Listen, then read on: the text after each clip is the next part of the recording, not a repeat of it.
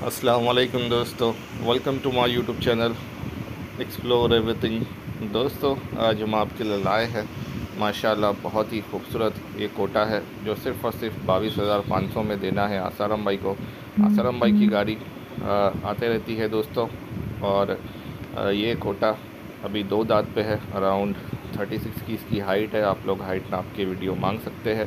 माशाल्लाह स्ट्रक्चर वगैरह देखिए, बहुत ही अच्छा है। रुबाब कान की लंबाई सिंग वगैरह, हर चीज़, माशाल्लाह। बहुत ही अच्छी है।